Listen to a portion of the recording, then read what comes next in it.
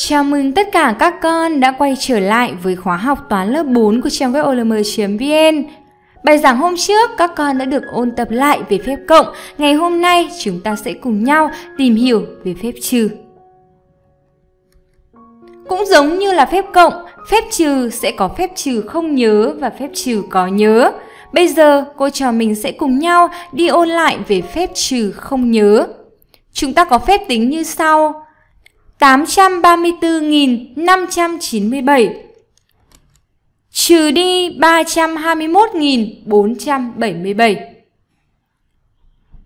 Để đặt tính rồi tính phép trừ, các con cũng lưu ý là chúng ta sẽ viết các chữ số ở cùng một hàng thẳng cột với nhau, sau đó thực hiện phép trừ từ phải qua trái. Cụ thể với phép tính này, chúng ta bắt đầu thực hiện từ hàng đơn vị.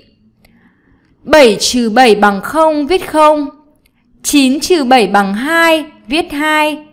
5 trừ 4 bằng 1, viết 1. 4 trừ 1 bằng 3, viết 3. 3 trừ 2 bằng 1, viết 1. 8 trừ 3 bằng 5, viết 5. Như vậy, kết quả là 513.120. Các thao tác thực hiện phép trừ không nhớ hết sức đơn giản, các con chỉ cần đặt đúng các chữ số ở cùng một hàng thẳng cột, sau đó trừ lần lượt từ phải qua trái thì sẽ được kết quả. Bây giờ hãy cùng thực hiện một số phép trừ không nhớ dưới đây. Chúc mừng các con! Bây giờ chúng ta sẽ cùng nói về phép trừ có nhớ thông qua phép tính. 765.483 trừ đi 391.837. Để thực hiện phép tính này thì các con cũng sẽ viết các chữ số ở cùng một hàng thẳng cột với nhau. Sau đó chúng ta sẽ thực hiện phép trừ lần lượt từ phải qua trái. Cô sẽ thực hiện như sau. 13 trừ 7 bằng 6, viết 6 nhớ 1. 3 thêm 1 bằng 4, 8 trừ 4 sẽ bằng 4. 14 trừ 8 bằng 6, viết 6, nhớ 1. 1 thêm 1 bằng 2, 5 trừ 2 bằng 3, ta viết 3. 16 trừ 9 bằng 7, ta viết 7, nhớ 1. 3 thêm 1 bằng 4, 7 trừ 4, kết quả là 3, ta viết 3. Như vậy ở đây phép tính này sẽ bằng 373.646. Các con lưu ý các bước mà chúng ta đã thực hiện phép trừ như vừa rồi. Rất đơn giản đúng không nào? Bây giờ các con hãy cùng thực hiện phép trừ có nhớ dưới đây. Chính xác. Chúng ta sẽ cùng làm một số bài tập. Bài đầu tiên thực hiện một số phép trừ. Các con đã trả lời đúng rồi. Bây giờ chúng ta sẽ chuyển qua bài thứ hai, tìm x.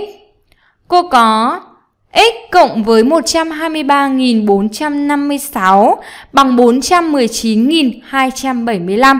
Ở đây x đóng vai trò là số hạng. Muốn tìm số hạng, chúng ta lấy tổng trừ đi số hạng đã biết. Như vậy, x sẽ được tính như thế nào?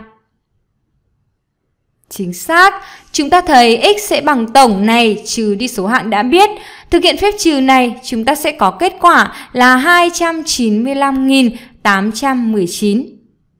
Như vậy, đối với bài toán tìm x thì các con cần xác định được vai trò của x trong phép tính, từ đó suy ra được cách tìm.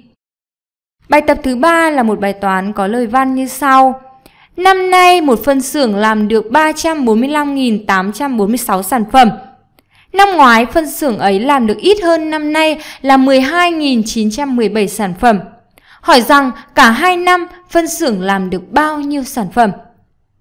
Đọc đề bài chúng ta thấy rằng năm nay làm được từng này, năm ngoái làm được ít hơn từng này sản phẩm. Như vậy chúng ta sẽ tính được năm ngoái phân xưởng đó làm được bao nhiêu. Sau đó, muốn tính cả hai thì chúng ta lại thực hiện phép cộng. Tới đây các con hãy giải quyết cho cô bài toán này. Chính xác. Chúng ta thấy rằng năm ngoái phân xưởng đó sẽ làm được số sản phẩm. Chúng ta thực hiện phép trừ bởi vì đây là bài toán tìm số ít hơn. Kết quả là 332.929 sản phẩm. Sau đó ta tính được cả hai năm phân xưởng ấy sẽ làm được số sản phẩm bằng cách thực hiện phép cộng. Đây là số sản phẩm làm được của năm nay và đây là số sản phẩm làm được của năm ngoái. Kết quả cộng lại là 678.775. Và đó chính là đáp số của bài toán này. Như vậy, ở bài giảng ngày hôm nay, cô đã cùng các con tìm hiểu về phép trừ. Để rèn luyện thêm kỹ năng cộng trừ, các con hãy làm bài luyện tập trên trang web olm.vn. Cảm ơn các con đã lắng nghe bài giảng. Hẹn gặp lại trong các bài giảng tiếp theo của olm.vn.